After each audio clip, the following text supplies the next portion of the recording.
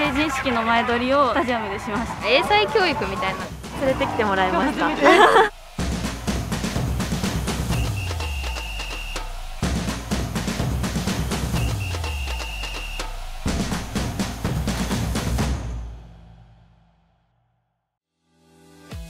今日は 2021J リーグ YBC ルヴァンカップ決勝が行われる埼玉スタジアム2002にやってきました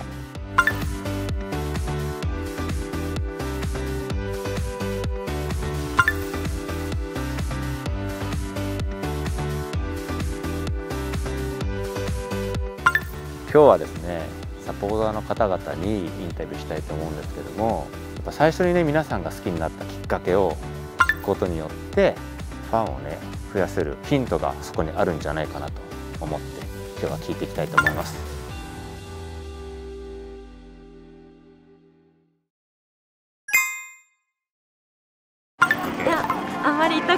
ったことなくてちょっと連れてきてもらいました。今日初めてのサポーター。今日初めての観戦の方。楽しみです。お。なんかどういうところに期待してます？好きな選手とかえー、もう今日活躍してる人絶対かっこいいと思うので決めたいです。今日も好きになるそうか今日決めるね。今日はちょっと勝負ですね。好きな選手は柿谷選手だったんですけど、ねちょっともう今日は何回も聞いたそれですよね。だから今日はもう本当に 楽しみです。最初何がきっかけだったんですか？いやまずピンクが好きっていうのがあったんで、はい、僕は乾選手です。乾選手帰ってきたよね。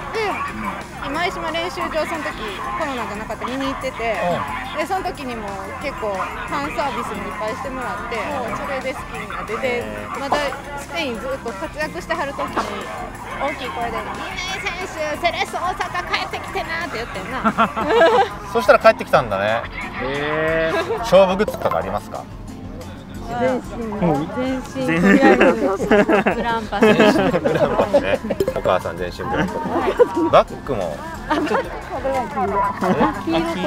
え？どうぞ金シャチのグランパス君って言ってあの夏のシャチの大祭典っていうのでは限定でっていう。限定品なはい。限定であのここの部分がメッシュで向こうのがあのメッシュじゃないバージョンなんですまず目につくんですけどこれは。そうですね、はい。おやつです。ピンクバージョンでセレッソカラーで作りました。めちゃくちゃいいですねこれ。4年前の時も1回作ったので優勝したので験担ぎみたいなもんですね。毎試合集まるので年間20試合は最多ホームであるのでそれホームだけでも友達ができるようになるしアウェーに行けば行くほど顔ぶれが一緒になってくるのでああの人この前持ったで仲良くなるきっかけがあったりするのでスタジアムに友達がいっぱいいるのでとても楽しいです。どういうところに楽しさとか魅力ってありました？スタジアムに来て普段サッカー好きになってなかったらつながれない人と仲良くなれたりとかチームが勝つことで自分も頑張ろうってなれるのですごい力をもらってます鳥取のガイナーレっていうチームがもう大好きなんですけどおおそうなんですね好きすぎて成人式の前撮りをスタジアムでしました。スタジアムに許可取ってあんまりやったことないのでぜひやってくださいって言ってもらえたので一生の思い出になりました。最初の J リーグを好きになったきっかけって？ストイコビッチさんとえーベンゲル監督のあの時代ですね、うん、98年フランス大会、あのーストイコビッチさん応援にフランスまで行きましたよ。皆さん日本代表のためにフランス行かれたと思うんですけど、私たちはピクシーを応援。えストイコビッチさんの魅力ってどこですか？もう一言で語れないですけど、うん。まあ、人柄すべてですよね。ちょっと薄くなっちゃったけど、知ってるピクシーのサイン。あれちょっと見せていただけますか？アスリートフードマイスターの資格を持っててそれでつながりで仲良くそうなんですね。この子はセレッソ側なんであセレッソ側なんです。か？柿谷選手を好きになって。あれ今日はどうするんですかそういう場合は？まあちょっと抑えます。抑えますか、はい。私もも、まあ、レース寄りですけれどもあのいろんな選手と関わりがある以上たくさんの子のところを応援して。あもう仕事仕事で選手と関わりがあるんですよお仕事というかしお仕事と趣味と半々ぐらい。あそうだったんですか。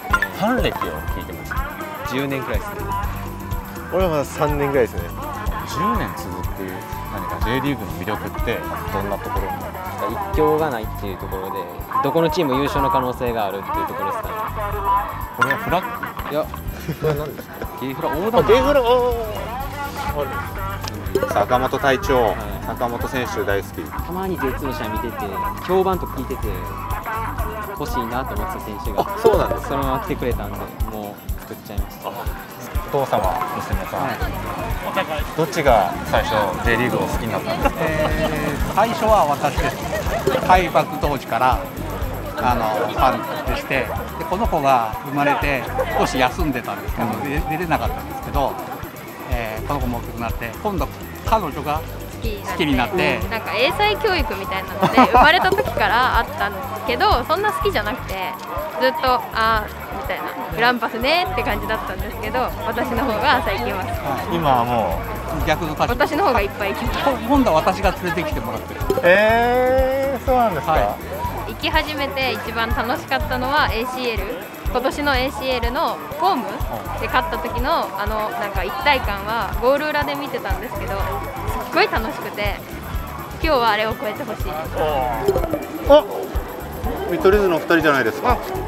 J リーグ公式 YouTube チャンネルインタビュー中、はい。あの来ました勝手に。今サポーターの方にインタビューしていて。いいですね。はい。よろしいですかインタビュー。はい。あいつが変なふりするこ いつが親族にもともと J リーグ出身の方いるんですよ、どなたですか？あのシジマールです。嘘つけや。お父さんがシジマール。一個？一神神党党にシジマールさ一神党にシジマルがいて、で手足もちょっと長いんですよ。ん。もう J リーグファンの前でその手でいきます。はい。僕も生まれてきた時、母親が言ってたんですけどこの形で生まれてきたほんまにこのまま。ビスマルクはいビスマルクの生まれ変わり。今もいるのに。生きとる。物申したいです。はいどうぞ最後に。い。いですか、はい。僕当時あのワールドカップ日韓ワールドカップの時にトルシエ監督を伊東洋華堂で見たことあります。物申したな。びっくりしました。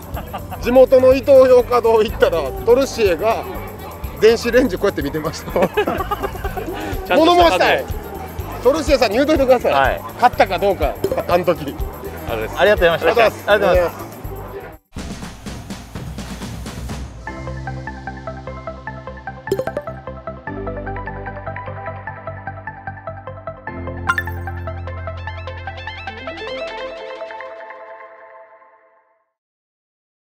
サッカーを愛する全ての皆様へ。J リーグはお客様にスタジアムで安心安全にご覧いただくために新型コロナウイルス感染症予防対策を徹底しております。これからも皆様にスタジアムで全力のプレーを熱気を臨場感を一体感を感じていただくために J リーグは対策を徹底します。スタジアムでお待ちしています。